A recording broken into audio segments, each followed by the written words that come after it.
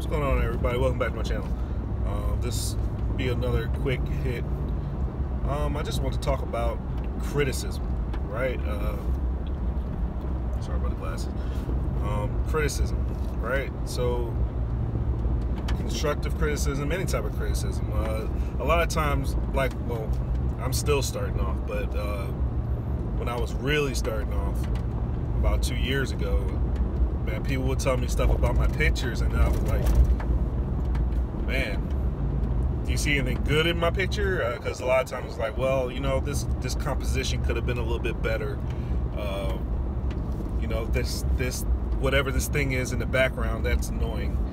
Uh, it's a it's definitely a distraction, you know, and a lot of times people won't tell you what the good is in your picture, uh, but it took me a while to realize that you know I, I do believe that it's all good. Mean, I, I believe that everyone's trying to help you out. They're not trying to put you down or to to make you feel less of a, of a person. Well, some people might. So, but uh, for the for the most part, if you get in with a good community, I believe that that those people are trying to help you become a better photographer, uh, to have a better eye, and it'll develop your eye. So when you get that criticism, don't quit. Get back out there and and try the same shot again with maybe eliminating the distractions, maybe setting it up a little bit better where where it's more composition uh, compositionally sound. Compositionally? Maybe. Okay, so try that.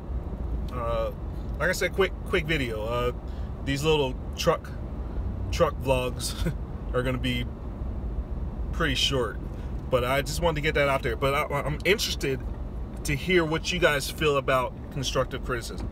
So leave a comment down below. Let me know what you think about someone's maybe coming with some uh, constructive criticism about your your stuff. And if you're seasoned in photography, I would love to hear your opinion on how you give construction constructive criticism and uh, how you receive it as well.